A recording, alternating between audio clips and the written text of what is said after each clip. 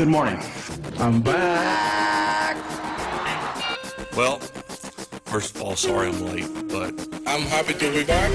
I'm here to play. There are some things I want to say. I'm gonna make it real brief. Y'all had two weeks to do y'all's talking, let me do mine. I'm gonna take my talents to South Beach. to be a terrible role model, but still, I'm gonna take my talents to South. Welcome. It's 12:30 afternoon. It's Friday. That means it's time for one thing unsportsmanlike conduct with Paul Gerke and Mike McManaman. You are listening to Flint Talk Radio. We are streaming live on the internets. I'm Paul Gerke. That's Mike McManaman. Mike, tell the listeners and the viewers how they can get a hold of us. Uh, well, you can call us 810 208 1854. 208 1854. Go to our Facebook page or uh, chat live with us at flinttalkradio.com. That's always fun. A live internet chat. Yeah. It's like Mike when he goes home at night and gets on chat roulette. Whatever. Let's get to top story. Uh, top story today. This came down to the waiver wire at about 10:30 this morning. The Washington Nationals announced that Stephen Strasburg has a desperate need for Tommy John surgery. Yeah. I guess you could say. Um, that's a season-ending injury. They thought he had a strained uh, elbow ligament. Mike. They reported today that after a second MRI, he had a significant tear of his ulnar collateral ligament. And for those of you not in the know, Tommy John surgery is at least a year off. He's going to miss 12 to 18 12 months 18. and a guy that uh, was probably the most uh, sought after rookie pitcher. He had a, a great start to his year this year. Was in the talk for All Star selection at the beginning of the season, and now he is sidelined for at least the remainder of this year into next season. Just a brutal loss for the Washington Nationals. Yeah. Um, I, I don't know. I mean, we have some comments about from Andrew Keller about uh, the Strasburg injury. He doesn't think he can come back from it uh, the same way you know he started. Uh, it's always sad when you see somebody in their first year, or, you know, one of those young prospects, uh, go down, and uh, you know that that brings up the conversation they always have: uh, how hard do you push these rookie pitchers? Somebody that's never uh, been through the stress of a you know major league season. Um, he may never come back. He may never. He's probably never going to be the same. I mean, a lot of guys do come back, and some of them come back. I mean, Andrew Keller compared him to what Tiger Woods. I mean, not Kerry Wood. Kerry Wood. Yeah. yeah. The other Woods we need to talk about. Well, Kerry Wood had Tommy John surgery in the prime of his career, and he Yeah. he's found a way to keep himself in the league. I'll give him that. But I mean, you talk about this guy was a shoe-in Hall of Famer. You'd think after his first couple starts, Yeah. he uh, was on a pitch count uh, or uh, an inning count rather from the Washington Nationals uh, of 150 innings. Um, he got to 123.1, 36 innings remaining left on his season uh, when he went down with injury. So you know he was close. It, the Nationals tried to protect him like the asset that he is. I'm not gonna I'm not gonna hate on the Nationals uh, for what the way they handle Stephen Strasburg Yeah. because to be honest, I think that this is just one of those freak things. Strasburg, uh, for those of you not in the know, uh, the number one starter for the Washington Nationals, 2.91 ERA, five and three this season with a WHIP just over one, which is absolutely solid.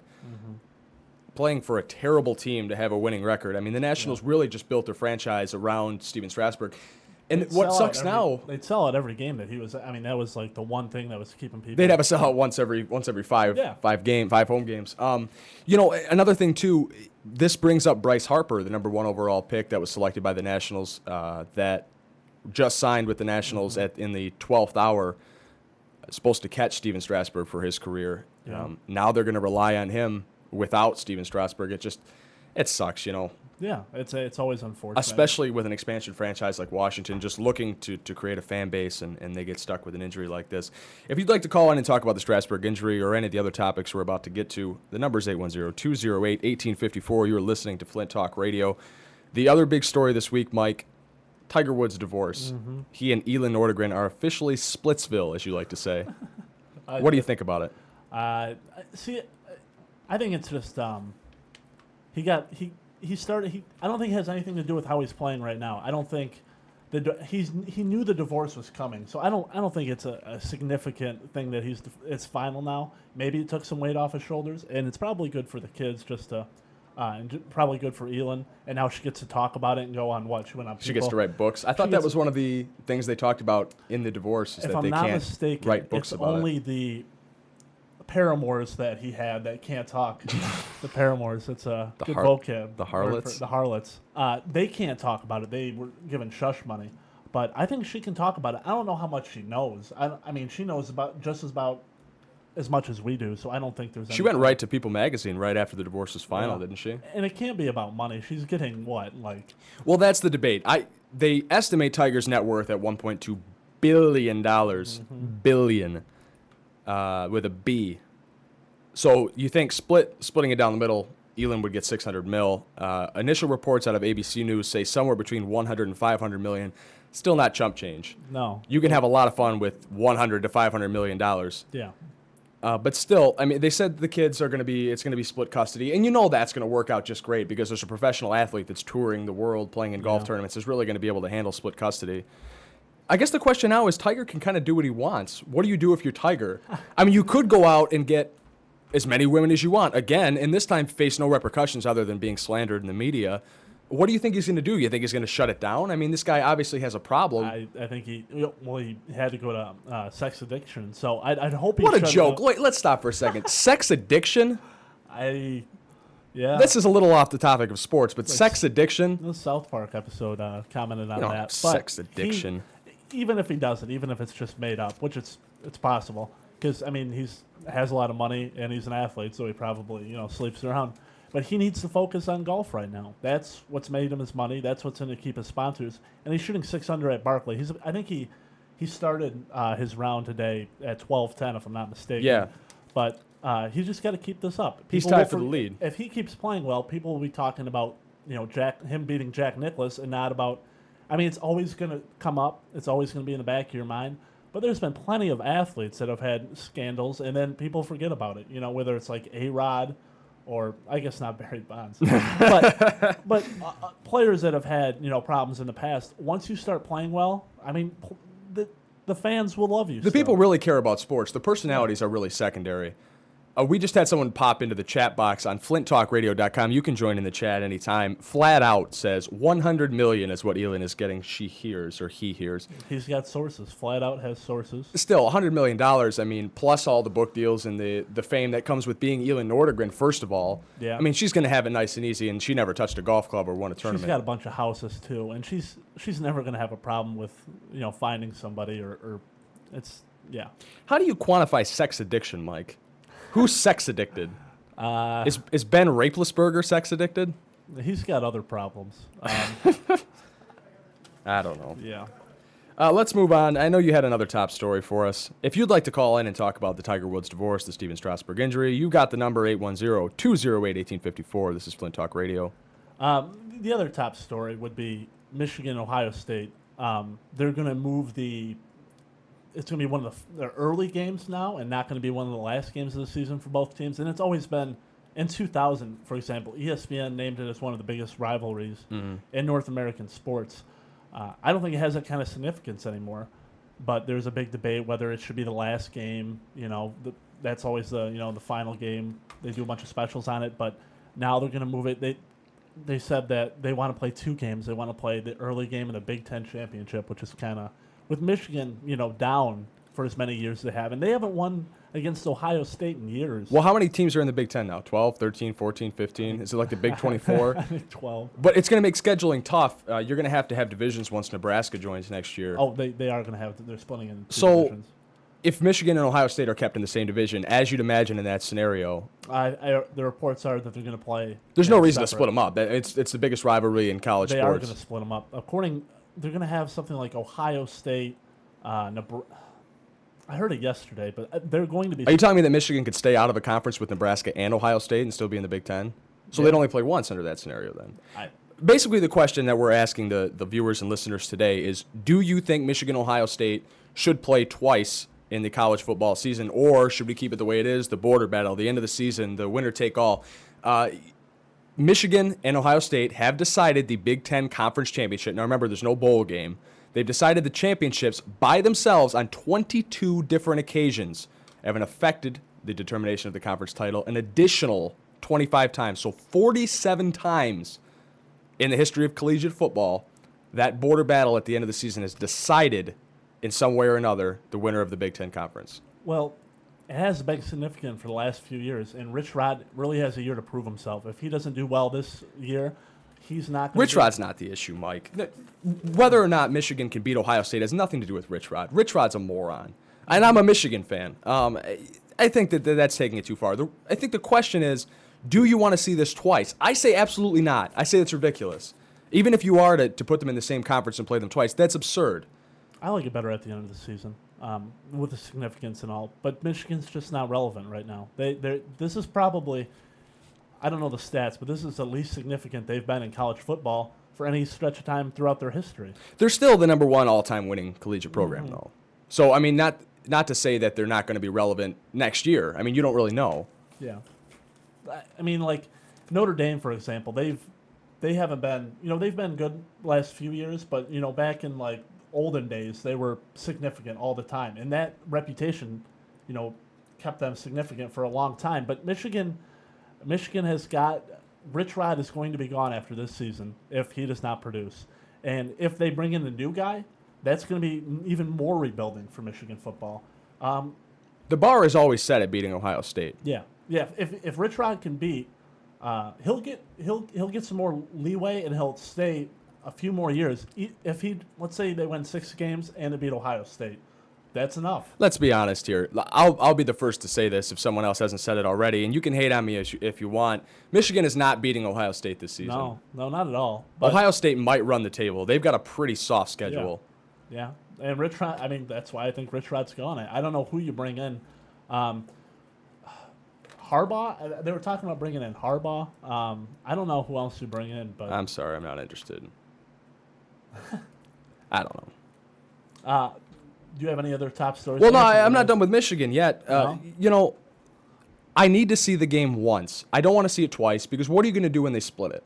Yeah. You're going to have one side bitching about how, well, we won by 10 and Ohio State won by 7, and you're not going to decide anything that way. I think the real problem here is that the Big Ten doesn't have a championship game. All the other major conferences have a championship game. Why can't Michigan, Michigan, or why can't Michigan and Ohio State play in a, in a BCS sponsored Big Ten championship game? That's what I want to see. Yeah, but you're not going to see that from Michigan. A few, I mean, they there's so many strong teams in the Big Ten. There's I, Michigan's probably maybe fifth. I, I'm trying to think. They're- No, that's irrelevant too. I mean, just because Michigan's not competitive now doesn't mean that that wouldn't be a good thing for the conference. I mean, like you said, Notre Dame hasn't been relevant in years, but you still have Lou Holtz getting up on the docket with his screwed up tie on ESPN talking about how Notre Dame's going to win seven games, then Brady Quinn is going to lead the Fighting Oh. Irish. Seriously, He's got a speech impediment. He's not flamboyant. I think There he had a stroke, but I'm not sure. I'm not sure where the speech impediment comes from. We'll let that lie. But Notre Dame hasn't been relevant in a long, long, long time. Mm-hmm. Michigan has only been irrelevant for what three years, I think, and they still a huge draw. Notre Dame's not even doesn't even belong to a conference, and they're still a Mm-hmm. huge draw. So I think I, I think the, the popularity's there. I think there are some Yeah. sickos that would really like to see Michigan and Ohio State play twice in the Yeah. season. Yeah, but I think I don't think either of us think it should be changed. I I don't see why. I think that's a, a great. It's one of the best rivalries in sports. I don't think you change it. I think you keep going with what you have because it is a great rivalry. Even if a team is down, even if Michigan's down, and it's the worst they've been in in their history. But it's still a fun game to watch. If you'd like to get in on this conversation, the number is 810-208-1854, or join us on flinttalkradio.com. The uh, chat box is going crazy right now. Someone just brought up Shawn Kemp. I don't know where that comes from.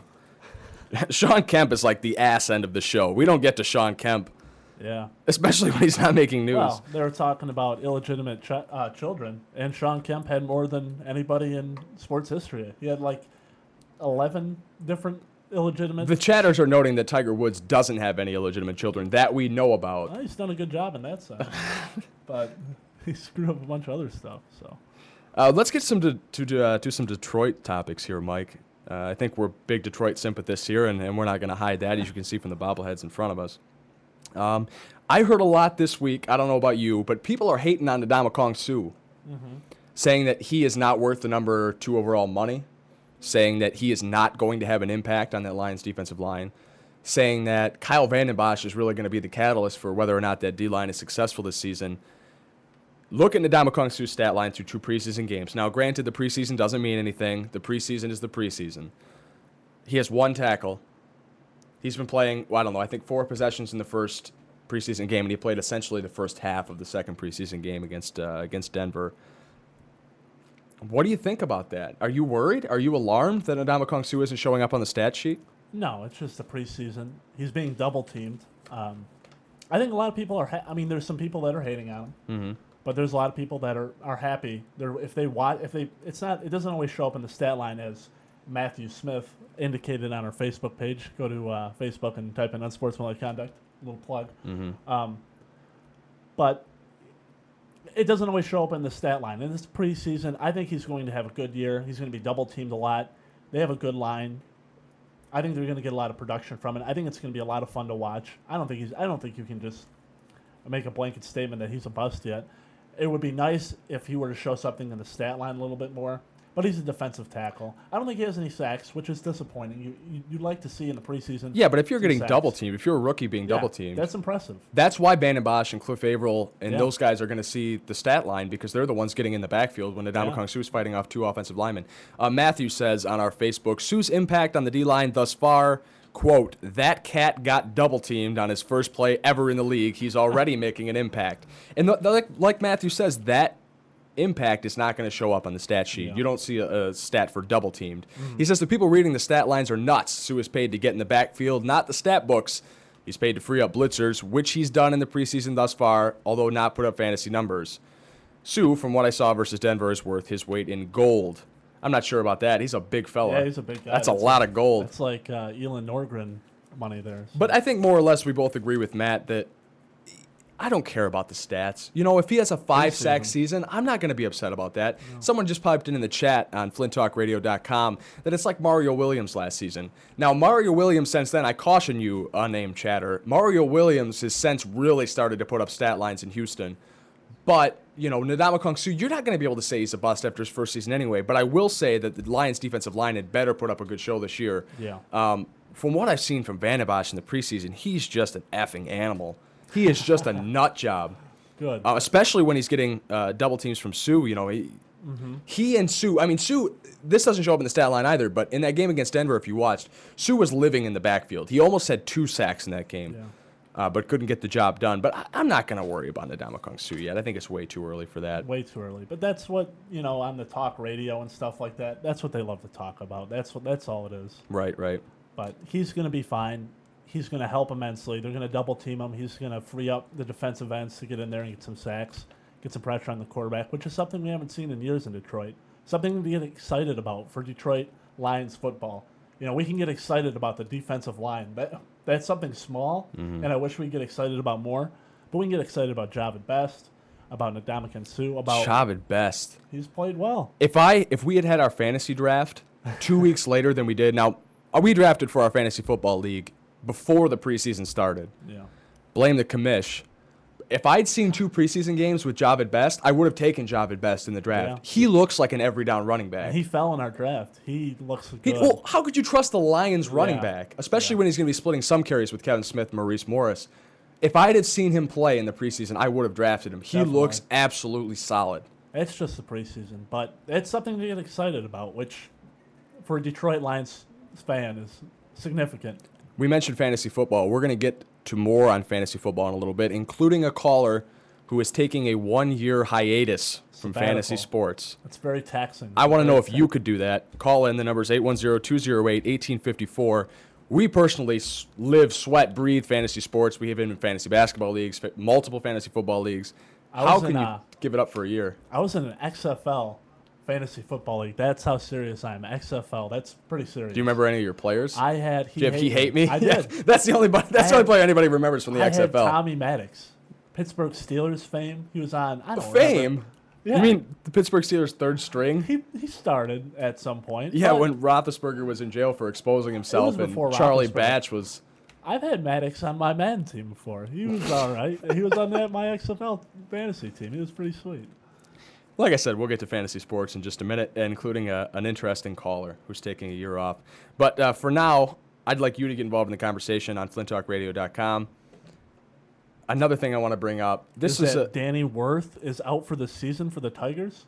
when did that come in? That was Thursday. it was yesterday. It's Out for the rest of the season with a read the injury, Mike. bruised left heel. That sounds pretty serious. Sounds like a Madden injury when they get a Elbow bursitis. Yeah. and they're out for like out for eight weeks. Elbow bursitis. out for out for career. If anyone wants to call in and tell me what elbow, elbow bursitis is and how it sidelines a professional athlete, feel free. a bruised left heel. Yeah, that's pretty. Was he out on the town last night in his, his dress and stilettos and fall down a flight of stairs or something? Those baseball players are real athletes. Screw Danny Worth. Like the, we could talk about the Tigers too if you'd like to call in. The Tigers. Uh, Well, excuse talk about Johnny Damon. Excuse my French. We'll get to Johnny Damon in a minute. Excuse my French, but the Tigers are a cock tease. Take 2006 for example, when the Tigers end up in the World Series and just bomb against a, a, a St. Louis Cardinals team that was totally overmatched by the Tigers at the time. Last season, the Tigers hold the division lead for the entire season essentially, and then fall apart in the last two weeks. This season, the Tigers are nine games back now. They've won six of seven or something absurd Yeah. like that, it's still hard for me to despite the injuries. It's hard for me to watch. I'm not a big baseball fan. I said it last week. But when they're playing well, and they're playing well right now, but when you know it really doesn't mean anything. Mm-hmm. Well, now, not now, now that Danny Worth is gone. Yeah, well, know, Dan- there I mean, go the Tigers' do? hopes. I mean, what do we have to bank on in the future if Danny Worth isn't going to be with us? Mm-hmm. I just don't care. Bruised left heel. Let's talk about Johnny Damon real quick. I don't want to spend too much time on this, but if you guys were following Detroit sports this week, Johnny Damon was claimed. The Tigers placed him on waivers, as we mentioned on our show last week, that they were speculating that they were going to put him on waivers. Uh, Damon was claimed by the Red Sox, and then he had, I guess, he set up a no trade clause to his one year, $8 million contract with the Tigers. Set up a, a no trade clause where there were eight teams that he didn't want to be traded to, and the Bo Sox were among those eight. yeah. And so, as expected, Johnny Damon, the idiot of Red Sox World Series fame, uh, rejected the waiver claim. Johnny Damon stays a Tiger. The Tigers eat the rest of his $1.8 million salary left on, on this year. What do you think Johnny Damon brings to the Tigers? Not a whole lot except veteran leadership, but he loves Detroit for some reason. Maybe it's Where does that knows? come from? This is a guy that spent his career away from Detroit, essentially. Boston, New York. Who did he play for before Boston? I don't know if he played. No, he did. I'll look it up. But He uh, regardless, not in Detroit. No. Detroit. I mean, that, Detroit's a good city. It's just not like you don't dream of like living in Detroit. You dream of maybe Boston, New York. He played in both cities. Right. It's nice that he he said that he always wanted to come here. I don't really understand that, but it's good to have him on this. Eight million's a little excessive, but Is that Dave Dombrowski being a moron? it's baseball. They pay him outrageous. They don't have a salary cap, so it really doesn't bother me all that much. If they want to pay, pay. But Johnny Damon is being paid $8 million this season. This is as a couple games ago when he was claimed on the waiver wire by the, the Red Sox. 111 games, 111 hits, a hit a game, 30 doubles, 3 triples, 7 home runs. Only 40 RBI. Now, granted, he's batting a lot out of the two hole. They moved him up to 3 at one point. He was batting leadoff when Austin Jackson was out, yada, yada, yada. But 40 RBI for a he's got a veteran mohawk. that's supposed to have a Let's bat. not Yep. forget about that. Number one Mohawk in the league. Woo! Yeah. 72 strikeouts, only batting 270. Uh, two- I don't hate on 270 too much. He gives you a little power, or he's supposed to. Seven home runs, that's not power. Um, I ran the numbers, Mike. You know I'm not much of a mathematician, but my computer has a calculator function on it. And so I discovered that he's making $72,000 a game, which is no Brett Favre money, who's making a million dollars a game this season, as we mentioned last week. 72000 per hit. $1.14 million per home run. And this is a guy that's supposed to have power in the middle of your lineup. He's 200 old. grand per RBI. He's old, way past Overpaid. I think Dave Dombrowski is really just raking in the jersey sales for a prime. season Yeah, from Johnny that's Damon. the only thing I can think of when they But- bring when you bring in a player like that, like a Tracy McGrady or a Johnny Damon. The only, I mean, veteran leadership, but veteran leadership, I think, is always a way to say we want to sell jerseys, we want to get people in the seats, which I have no problem with. It's a business, but.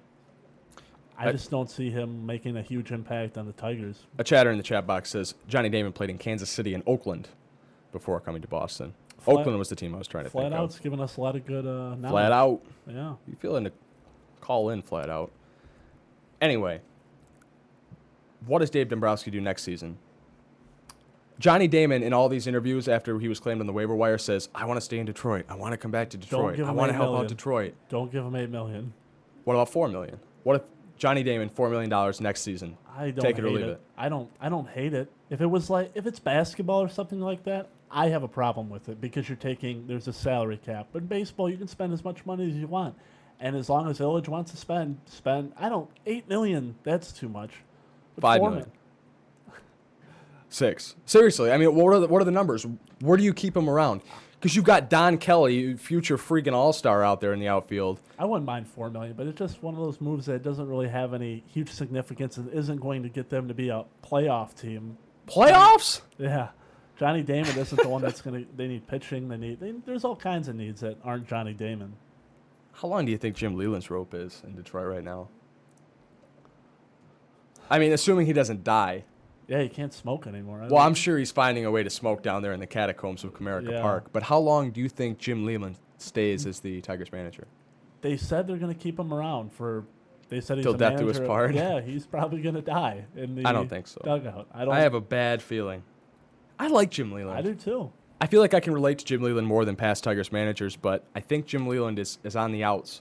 If not this season, if the Tigers just collapse, which I guess they're already post collapse. I mean, they're nine games back with not that much time. And we've seen crazier things. I mean, last year Minnesota was what, seven games back before they mounted that comeback? We've seen crazier things, but I don't think Detroit's going to make a comeback. And if they falter at the end of the season because of Danny Worth and his bruised left heel, or uh, a plethora of other injuries, I, you know what? I hope Brandon Inge gets claimed on the waivers. Is that is it like a week they put him on the waivers for? Because nobody's claimed him yet, and I don't blame any of the other teams for not taking Brandon Inge off our hands. Thanks a lot. Well, we've had a lot of injuries this season. That- that- Danny that's, an, Worth. that's an excuse. Danny Worth. That's an excuse. You didn't have a solid team to begin with. You know what screwed this team? Trading Curtis Granderson. That's what screwed this team. You know Edwin what? Jackson too. He had an excellent year. He had a no hitter. You know what else screwed this team? Max Scherzer losing his mind for half the season before coming on like he is now and starting the way he had a great start, no middle, and a great ending to the season. And you know what else screwed the Tigers? Joel Zumaya and his perennial injuries. Yeah. You know what? That doesn't even count in the injuries, in the injury talk for the Detroit Tigers. Joel Zumaya is, is a separate entity. He gets hired, injured every season. Well, yeah. There's Guitar Hero. There are boxes that can hurt him. There's a plethora of things. He did actually get injured pitching this season, which is a nice change of pace. Yeah, it's different. That might be the first time. Another thing that screwed the Tigers, Brennan Boesch. Everyone in Detroit got such a, a big hard on for Brennan Boesch halfway through the season, and then after the All Star break, he just fell asleep at the wheel. He's been playing a little bit better recently. I But, think he's yeah. finally found that middle ground where Brennan Boesch's talent actually is. He's I not up have- here. He's not All Star caliber, and he's not a 100 hitter either. I think he's like a 250 guy with some power. He's I'm like happy Johnny Damon, except he can't steal bases. Yeah. Well, I'm happy with him. He, you know, we get this.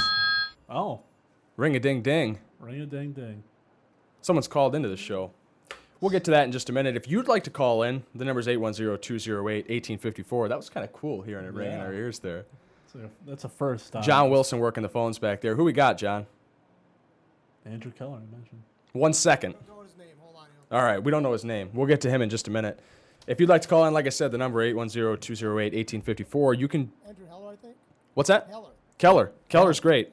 Patch him through. Our secretary working the phones back there. All right, Andrew, how's it going? Good, man. How are you doing? Wonderful. Where are you calling from?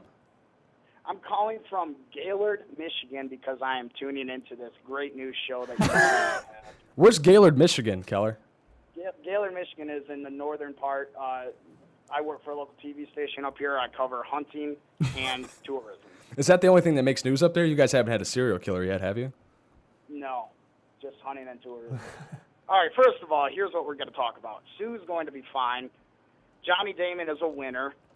Brennan Boesch. Whoa, whoa, whoa, whoa, whoa, whoa. What do you mean a no, winner? No, no, no. You got to listen me out. Brennan Boesch, they found his weakness. He needs to tweak that out. What? Wait, wait. His Brennan Boesch is weakness, going to be not being able to hit the ball, is that a weakness? The weakness is, is he swings at the first pitch every time. And then the second pitch and the third pitch. fan. Let the Well, man talk. Let the man talk.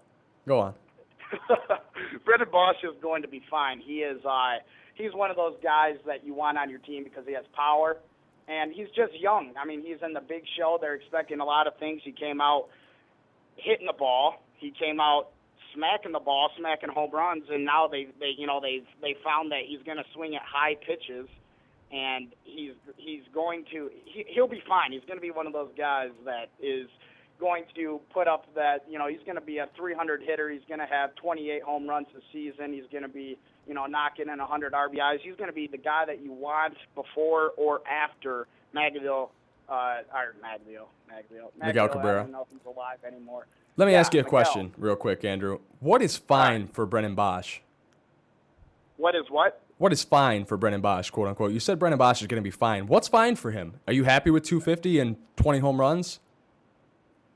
250. and- No, I'm not. No. If you're if you're a fan and you're happy with 250. Well, I think that's what his no. stat line's going to look like career wise. I don't think Brennan Boesch is any better than that. He's shown nothing to prove to me that he's better than a 20 home run hitter, a guy with a little power and a, a, a medium average. He's he's young, man. I'll go 275. This isn't a bidding war. His price is right, right? I, you know what, Brennan Boesch. I need to see him next season, but I don't. This is a guy that who heard about Brennan Boesch before he was called up to the Tigers to fill in for injuries. This is not a highly touted prospect, and like He was the 26th best prospect in uh, Tigers organization. in the. Tigers organization, the 20. How many players you put on the field, Andrew? Uh, yeah, I So he's don't like fourth team all I Tigers? This guy, this guy stepped up to the plate, hitting the ball. That's in- great. In the beginning of his career. But like you said, he swings at high pitches. He swings at the first pitch. These are signs of, of a guy that doesn't know what he's doing out there. yeah, yeah, but I mean, if you if you look at all young players, it, it takes a minute for them to you know realize what Major League Baseball is all about. They're not playing in you know Sandlot. They're playing with guys that do this for a living, guys that have been in the league for you know several years, batting against CC Sabathia and Roy Halladay. Even yeah, I I mean I'm talking Phillies pitchers now, but that's just absurd to me. But yeah, no, he, he Hey, he used to be in the He is going to he is going to be a fantastic player. Mark my word. All right, I'll hold you to this, Keller. I have sheltered optimism about him. So I, I have I, sheltered optimism is fine with all of Detroit sports, but the reason I called in is because did you guys hear about that guy that walked from Munising? Munising is actually in the UP. They say a lot of A's at the end of their sentences, and instead of rag, they say rag. It's essentially But Canada. did you hear about this guy that walked 425 miles from Munising to Detroit? I heard to, a little. uh, you know, to spread that word to the Lions. I hope you heard about this. I heard a little bit about it. I Yeah, heard- tell us the story, Andrew. I, I'm assuming All right, you me- covered it. Let me fill you in with this story. All right. Last week, uh, was it last week? Yeah. Uh, actually, it was last Tuesday. Did a story about the guy. I work for 7 and 4 News up here for those of you that are listening in. Nice drop. Uh, 7 and 4 News covered this man. I was a reporter as well as a photographer. And, uh, and this guy is walking from, what's that? Oh, go ahead. No, you having another conversation, Andrew? Are we not important? No, you guys, you guys are absolutely important. I mean, this is Flint Talk Radio. I love that you guys have this show. This is big. I have something to do on Fridays now. I, I should be working, but I've made a point to uh, have this little block of time open so I could call in. I'm calling your news director. Anyway, anyway, that's a, no, you better not. anyway, we uh, we uh, we. I did this story about this guy that's walking. This guy is a 63 year old man who decided to walk down. He's a diehard Detroit Lion fan, where it just bleeds the colors of Honolulu blue and silver. I mean, you talk to this guy, and this guy is just an absolute, you know, just this is the guy, the type of guy that you want to be around. Anyway, I, I meet up with him, and uh, he is in a town called Rose City. For you that are not been to familiar Rose with Rose City, I don't even know if I could get there again. I had to have to type it in my GPS. Mm-hmm. But uh, I, I found him, and uh, he was he's making the trip to spread the word Sisu, S I S U. what is that? S I S U. Sisu. Sisu is a Finnish term for guts, determination, and glory. I, I, I can't remember. It- That I don't not know. I even close. Does this man have a mental illness where you're concerned for Uh, your he- safety? No, no, he doesn't. He's he, he is like I, I, I give me a second to think of a good analogy as I'm talking, but uh, he okay. He is like Dr. Brown on Back to the Future, just dedicated. Is that a good analogy? Dedicated, dedicated like Dr. Brown. I like it, Andrew. yeah. Yeah, absolutely. I, I mean, that's that's the best analogy I can think on the top of my It tip always- of my toes. It always amazes Anyway, he, me. he walks to the he walks to the Lions to tell them about Sisu. Sisu, that's amazing. it always And he amazes me. makes it. He made it there on Wednesday, and, and uh, WDIV. Click on Detroit.com has this raw video of this guy showing up, and he has this jersey, this this uh, this uh, jersey made with number 425 signifies the number of miles that he walked. A personalized jersey. His name is Joe Paquette from Munising, Michigan, making national news. I heard him on ESPN the other day. I mean, this guy is something that the Lions need to get over that hilarious hump that is more of a disaster than a hump. That's a good man. 63. I'm impressed. It's always amazes me when you have a Detroit Lions fan that's so dedicated after so many years of being beaten down that somebody would do something like that. As someone in the chat pipes in, Andrew, this walking Lions guy is walking because he's diagnosed with high cholesterol. So brave, so noble. Dude, I'd, I'd have high cholesterol too if I was 63 year old, 64 years old. I'd be eating a lot of pizza, just not wanting to do anything after watching the Lions lose for 53 True. years. Andrew, you're you make for some great about it. radio. You're welcome to call into the program anytime. All right, man. Thanks a lot You take for care. me. You guys are doing great. I like watching it. Thanks, man. Spread the word. Thank you, Andrew. Okay, you can call in if you'd like to join the conversation. 810-208-1854. We got a couple more things we got to get to today. We got Oh. like 25 minutes left in the show. I got some things I want to talk about. Fire away, big fella. They say it's the year of the pitcher. It's the year of the punter. There's two big da, da, da. punting stories to talk about. First is the Plaxico Burress Jeff Feagles number debacle. Jeff Feagles was promised a new kitchen if he were to give up his number 17 to Plaxico Burress. Repeat that one more time. Jeff Feagles Jeff Feagles, who was a punter for the New York Giants. was promised. Okay, you want me to? Do you, can we make this Mad Libs? Noun. this- I'm Was promised I'm- noun. I'm trying to make this exciting because it's really not. no, I'm excited. he wants a, a new kitchen and he gave up his number. And Plaxico's busy shooting himself and he can't. Plaxico Burress, for those of you not in the know, is a wide receiver for the Giants who is currently in jail. I think he just got out. I think it says he's in jail still. Is he in jail still? Regardless, he was imprisoned and unable to deliver on his kitchen promise. I think Jeff Feagles should be a little bit understanding. Jeff Feagles feels like he has some kind of. He's important for some reason, but he's a punter. That's the least. He's not important. He's asking for a kitchen in return for his uniform number. I don't think any other position in football would be that adamant and go to the national media about a, a red a kitchen being. How do you file a, a claim for that? I- They bartered it. Promised one kitchen. Yeah, I know. They bar. They it's, there's bartering. I- They did the same thing with Eli when Eli Manning got there. Jeff Feagles had the number ten, and he gave it up for a trip. A family vacation, I believe. Yep. Jeff Feagles is not interested in cash, baby. He's just trying to get his family. This is their the most significant a pitcher, uh, pitcher, a punter will ever be. This is the most significant. This is the biggest story of, of a punter ever, except for Except for when they royally screw up. Yeah, there was somebody a few years ago, a punter that had an axe in his thigh. He was cutting wood, and he that was pretty. I remember that. Who that was was pretty exciting. The other punting story, because this is the year of the punter. Punt away. Aaron Bates is the first punter to be named Spartans captain, which amazes me. I've never heard of a punter being a captain or a leader of any team. You don't typically work out with a team. You're a punter. You're the least significant member on the roster. I imagine I could punt. You could probably punt. It's Not well, but that's Well- that's irrelevant. You're not a football player. Yeah, but a punter is the captain. That seems ridiculous. There's got to be players with more clout in the Right? In the locker room than Aaron Bates. I got the name of the axe punter. You're gonna like this. Chris Hansen. Chris, take a seat right over there. Take a seat right over there. Take a seat right over there. Chris Chris Hanson, a punter for the New England Patriots. He's currently a free agent, which means he's recovered from his axe injury. Yeah. Apparently. Let's see if we can find anything about the axe injury. Yeah, I don't know. Basically, he put an axe in his leg. That sucks.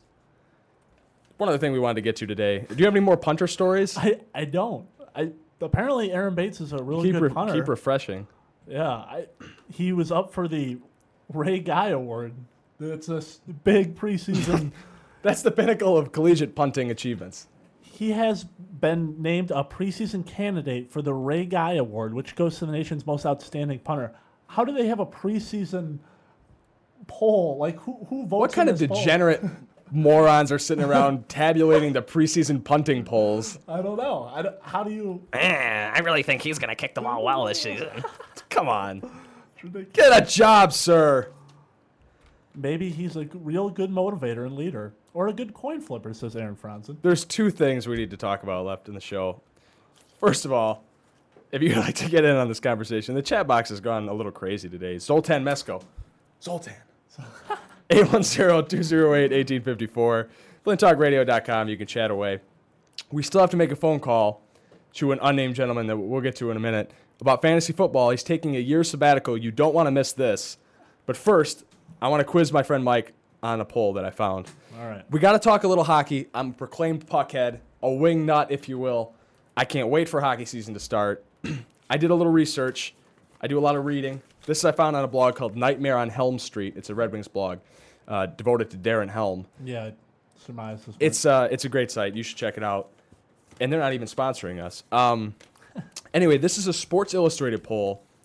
This isn't based on on point totals. This is based on this writer's guts, his gut reaction, if you will.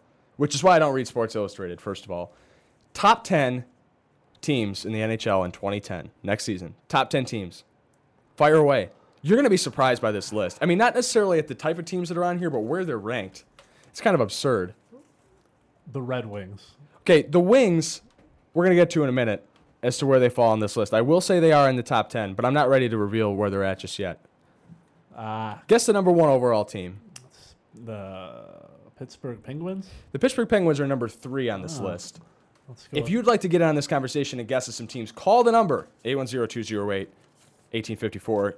Now, Dan Durkin says Colorado Avalanche. that reveals who uh, Flat Out is on the chat. this guy's an Avalanche fan. The Avalanche are nowhere near the top 10, Dan, a- as you should know. Dan, that was a horrible guess. I can't believe you said that. Craig Anderson's going to come in and be your Jesus and save you one more time this season. Washington think so. Capitals. The Washington Capitals are number one on this list. The Caps are the number one team in 2010, according to Sports Illustrated. The Hartford Whalers. Yeah, the Hartford Whalers have not been in the league since '98. Wow. I You don't watch hockey anymore. time. Mike can't find Versus on the uh, cable box. Ah, I don't know. The number two team is the real shocker for me: the Chicago Blackhawks. Eh? Well, they won the cup last year. What? But they lost everybody. I know. It's now the Atlanta Blackhawks. They, I they, I think seriously, and I'm not, I'm not exaggerating. There's on a professional NHL roster, there's 23 players that you have under under your salary cap. I think the Hawks have eight remaining players from the Stanley Cup winning team last season. Se- I- Seriously, I think it's that bad. They lost Andrew Ladd. They lost Dustin Byfuglien. They lost Dustin Byfuglien to Atlanta. that was amazing that they got rid of so many. They nixed Antti Niemi. Mm-hmm. The only team I can think in pro sports that would do such a thing is probably the Florida Marlins. I'm Yeah, not mistaken. that's Florida exactly what it Marlins is. Do the same thing whenever they have a good year. They just unload. Win a championship and disband. Yeah, I don't. You got Toews, you've got Kane, you've got Hossa, you've got I don't I think they lost Seabrook too. They've got Duncan Keith. That's four players. What are you going to do with that? Somebody brought up Bernie Federko. Bernie Federko is my favorite. Bernie NHL Federko. Uh, That's all you I have to say. St. Louis Blues, great. Where are the Blues? Are, are the Blues on that list? They're not, but the St. Louis Blues are going to have a good year this year. They've made some moves in the offseason, not the least of which signing Yaroslav Halak away from the Montreal Canadiens. The St. Louis Blues are going to compete in the Central next season. Mark my words. The Detroit Red Wings are number nine on the top 10. Now, last season, they're marred by injuries. They still end up with an over 100 point season, make it to the second round of the playoffs. I mm-hmm. think nine is just low. And that's that's not me being a Wings sympathist either. I think that's just low on the list in general. Flyers at number four. They Chris a- Chris Pronger's a year older. I don't know. They made it to the Cup Finals Yeah, last they had a season, but year. that East was just a debacle. It was like the six and eight Yeah. seeds in the Eastern Conference Yeah. Final. Um, the Sharks at number five. They're a regular season Cinderella, but in the playoffs, they're the they're a disaster. Dallas Mavericks. They so- shouldn't have beaten Detroit last season. They skated by with a couple one goal games and they got destroyed in game four in the series. Mm-hmm. Um, the Canucks at number six. I think the Canucks are definitely going to be a top five team this season. The Canucks are solid. Uh, the Kings at number seven, resurgence with Anze Kopitar. I don't know if they're saying that they're supposed to sign Ilya Kovalchuk or what, with his contract being up in the air, uh, rejected by the NHLPA Yeah. uh, after the what is it like a thirty year contract that was Yeah, was like- neglected from the, Yeah. the New like Jersey 20 Devils. I think 26 or something. If the Kings do like sign. Ozzy Kopitar, and I think they've got the cap room to do it, if I'm not mistaken. Yeah, I could say that they'll they'll make the playoffs in the West. But if they don't, I don't really see the Kings being that high. Devils at eight, Wings at nine, as I said. Phoenix Coyotes at number ten. I like the Coyotes again this season. I like the way they came together last year. Is Wayne Gretzky still part of that organization? I don't think Wayne Gretzky has anything to do with the organization oh, anymore. I don't remember if he was a part owner or not. We could look that up. Yeah. One of our, our stat fiends in the uh, in the chat maybe can get us that information. But I don't think Wayne Gretzky is a- any more associated with the Phoenix Coyotes, and that's ironic because they get the best player in the history of the game away from the organization, and suddenly they're a playoff team that took Yeah. Detroit to seven games. Yeah. Okay, um, if you'd like to call in and talk about the Sports Illustrated poll or any of the other topics we've hit on, you know the number 810-208-1854 or on flinttalkradio.com. We are streaming live until 1:30 p.m. Eastern Standard Time. It's about 1:15 right now. We got about 15 minutes left. John, if you want to see if you can get our caller on the line, now would be the time to do it. We'll talk just a little bit. Oh, we're beeping. We're going to call him live. Fantasy football talk. We're going to talk about fantasy football. It's that time of year. You must first dial a one or a zero. Reynold. No. the anticipation's killing me. Yeah. Will he pick up? We'll leave him a voice. Le- leave the voicemail open if he doesn't answer. He's probably working. You shouldn't tell us you're going to answer. He lied. Oh, This is good radio. this is good radio when you try to close. Oh. Cue voicemail. It's busy. Maybe he's calling in right now. Yeah, it's possible. All right, that's enough. John, you can go ahead and kill that. We'll uh, we'll get back to Randy in a minute. Let's talk fantasy football. Hey, hey, hey. This is Randall W. Scott the third. There it is. Follow me. Ah, you know, leave a message. I'll talk to you. Beep. To leave a voice message, press 1. Can we press press one? Is that even possible? To send a numeric No. page, All right, press we'll just 2 kill it. Now. Thanks a lot, Randy. Um, you are listening to Unsportsmanlike At Conduct the with tone, Paul Gerke and Mike please McManaman. your voice message. When you are finished We got to a tone. You Hold may on. hang up or press pound for more options. Randall W. Scott the third. You are live on Flint Talk Radio Unsportsmanlike conduct. with Paul Gerke and Mike McManaman. You said you were going to pick up. We're talking about fantasy football, your year sabbatical. Now we're just going to dog you on the air because you're taking a year off of fantasy sports, and I think it's because you can't take it. You're you can't scared. handle it. You're scared. That's enough. Anyway, fantasy football talk. There's nothing that engrosses me more as a sports fan than being able to get involved in the day to day with a fantasy team. Agreed. There's just an extra element that's added to me watching the Jets and the Bengals play on a Sunday in a game I don't normally care Yeah. about. If I have fantasy implications, whether on my team or the person I'm playing against, it just adds excitement. You can get pumped up about a player like Thomas Jones. You can get pumped up against, uh, you know, about Braylon Edwards. A Yeah. guy, you know, I, seriously. There's Well- nothing that helps me be a better sports fan than fantasy sports. Well, we're kind of sports nerds. We play in a IDP league, uh, individual defensive players. It's kind of like the Dungeons and Dragons version of fantasy sports. You pick individual defensive players. Most teams, you know, they just pick the defensive teams. We, uh, you know, we had somebody pick Ndamukong Suh, so they were probably bad pick. disappointed. They were probably disappointed. He's only had one tackle. He's not going to have good stats. was he the first overall defensive player taken in our draft? was. But If, if we don't win our fantasy league, It's an. It's only. It's eight teams. So it's deep. It's a deep league. It's very deep. Uh, we have another draft coming up on Friday. I think we This Friday, Yeah, right. that's going to be significant. It's always a great time. You always look forward to Sundays, Monday nights, Thursdays now. That, that they wanted to do. Uh, Saturdays, Sundays, Mondays, and sometimes Thursdays. and what's great about fantasy football as compared to like baseball, I've never been able to get into fantasy baseball. It's 162 It's games. too much. It's too much. You can set these once a week, and then you can just mull over the stats the rest of the time. I love it. I don't know how I'd take a year off and get back into it. To be honest, what Randy Randall W. Scott III is the person we're calling. He's a, a close personal friend of the show. Randy had a fantasy league that he's run every year. He has essentially disbanded it this season and kept himself out of other fantasy leagues. I think he's going to be fine until like week three when he's sitting on his couch and he's watching, I don't know, the Bills and the Raiders, and he's going to be like, "Son of a gun." I really wish I had a reason to watch this game because now, now you're just bored, right? Because you're not hitting refresh on your Yahoo Sports League He or ESPN Sports League. Jamarcus Russell next season because he doesn't know any better. There's always a chance he's going for Priest Holmes, baby. Yeah. Um, fantasy football for me is just that's kind of it. You know what I mean? I, I don't know. You always look for forward football to season. Fall. You always look forward to fall because of it. I'm going to read you, Mike, the top 10 ranked complete 2010 projections in fantasy football. I want to tell you. I want to hear what you think. Number one is Chris Johnson. That Solid. makes sense. That makes sense. Even with the, the disputes he had in the offseason about salary arbitration. He's a Tennessee Titans running back. They always have a, you know, Fisher's always has a good running game. He's a solid pick. Adrian Peterson's number two. I have no problems with that. Yeah. You're not worried about LeGarrette Blunt stealing carries from Chris Johnson? No, he'll get suspended sooner. sooner or later.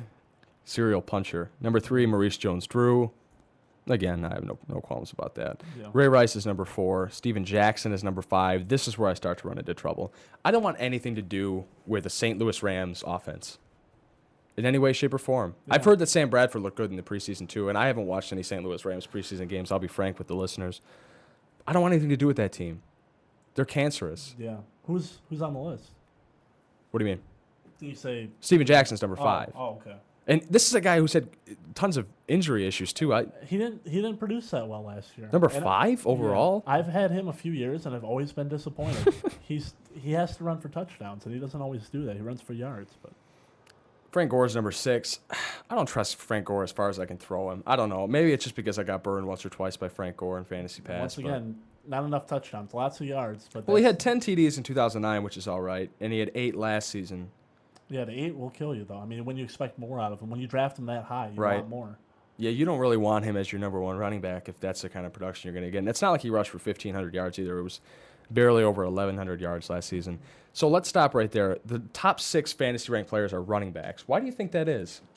I think it's an old school way of thinking. Yeah. I think we've seen the last few years that quarterbacks and especially wide receivers have become more significant. When I first got into fantasy, it was all about the running backs. Mhm. But it seems to me You take a running back in the first round, you take one in the second round, and you probably take a running back in the third round. The league is more pass happy. Mhm. The NFL is more pass happy. Running isn't what it used to be. Running is not as significant. I'm not saying it's not significant, but passing and the wide receivers, that's where it's at in fantasy football right now. That's the advice for the listeners out there. If you're drafting a fantasy football team, trust us because we're experts. I won one year. I did. I won last season. Um, I won the year before. the fa- fantasy football has gotten away from the running back, and here's why: Chris Johnson, Adrian Peterson, right here, right. Everyone else is just it just plummets. The stock plummets. If you don't have a top tier running back, what's the difference between Frank Gore and I don't know Best. DeAngelo Williams or Ryan Grant? Is it really going to be that significant? Ryan Grant last season had a better year than Frank Gore, five touchdowns better than Frank Gore, and he's ranked number 14. Mm-hmm. What's the difference? Why are you drafting running backs so high? I think you're exactly right. I think fantasy football has gotten more into quality of wide receivers. Your flex spot, wide receiver or running back. Are you starting a wide receiver or running back on a week to week basis? It's almost always a wide receiver. It depends on the league too. Some for some reason some don't count catches as a point. I think most leagues count catch or I've catch for a point. I've I've been in leagues without that too. Yeah. yeah. So if that definitely wide receivers if that's the case. But It just doesn't seem like a running back can just not show up one game and, and you're going to get screwed by it, right? Mhm. But Randy Moss could have one catch for 79 yards and a touchdown, and you're still going to get 10 points out of the deal, even if he was a no show the rest of the game. You know, but running backs, you could get 20 carries and just totally, you know, drop the ball, essentially, no pun intended. Andrew Keller, you, you can go ahead. Andrew, who just called the show a little bit ago, says, example, a couple of years ago, Antonio Bryant scoring 53 points for me, final game to make me come back and win. I thought it was a done deal when I learned I was playing all day Adrian Peterson. Yeah. Adrian Peterson is one of those running backs where I'm fine with him being a top selection because running backs are a commodity in fantasy football. But what I'm saying is that after you get past the premium backs, it's not so much a commodity anymore. It's just picking for Yeah. value. So why not pick a wide receiver? Why not take Drew Brees? Why not take Aaron Rodgers? Tom Brady blew up for you. Um, Yeah. In points wise, Mhm. a few years ago. I don't And you got him a value pick. I mean, I got Brett Favre last season in one of our leagues in like Yeah. the 15th round. I hate Brett Favre. And Brett Favre had just a ridiculous season last season. I would liked him last season. Um, but I'm not going to talk about my brags and beats in fantasy football. There's a time and a place. But, you know, wide receivers can just have more of an impact on the game, I think. Definitely. Um, let's get back to the top 10 there. Uh, after Frank Gore at six, Andre Johnson's number seven, the top ranked wide receiver. I have absolutely no problem with that. Andre Johnson has been has been a killer. Uh, Michael Turner at number eight, he had a, a real slow start to last season. He kind of came on in the last few weeks. Yeah. Uh, Drew Brees at number nine is the top ranked quarterback according to ESPN.com. I'm fine with that too. I have Drew Brees in a fantasy league. I don't think he's going to have as crazy of a year this year as he did last year, but it's hard to go against a Super Bowl champion quarterback Yeah. that throws the ball as many times as Drew Brees does. Yeah. Led the league in attempted uh, passes last season with 514. Um, Randy Moss is number 10. I think that's a little high for him. I'm not sure he's that high as a wide receiver. He kind of Yeah. he kind of had a uh, well, I guess not an off year last season by any stretch of the imagination with 1,200 yards and 13 touchdowns, but obviously not like the career season he had a couple years ago with Tom Brady. Yeah. I think if Wes Welker's healthy, that's going to influence Moss's numbers too. Yeah. Um, for the better, actually, because I think Moss is going to be throwing a lot more deep balls if Wes Welker's an underneath threat. Yeah, and that's what he's always been too. I hope Wes Welker ends up healthy too, because it's going to screw me in a fantasy league if he isn't. I'm kind of disappointed I didn't draft any Detroit Lions players. You drafted a bunch. Well, on it's- it's- defense, yeah, I would have drafted Job at best if we'd seen a preseason It's game. fun. It even makes the Lions more bearable to watch when you, you know, root for one of the players individually. Have you ever drafted a Detroit Lion on your fantasy football team? You can call the number 810-208-1854 or pipe up in the chat. I don't know if I ever have. I don't. Can't think of one. I'm trying to think. I've never had Calvin Johnson. I believe I had Roy Williams one year. Did you ever have Joey Harrington? No. God, are you kidding me? I think I started him one game. I think I had to. if I was in like a 30 team league, I might draft, draft Joey Harrington. I might draft Joey Harrington now. He seems to find a way to end up as a starting quarterback on any given team. That's true. Um, Detroit Lions really do make more interesting for fantasy football. I've got Louis Delmas, I believe, just kind of a, a value pick. You have to start three deep cornerbacks or uh, defensive backs rather. You just see if he turns out. He could have he could have 100 tackles if the Lions secondary is terrible.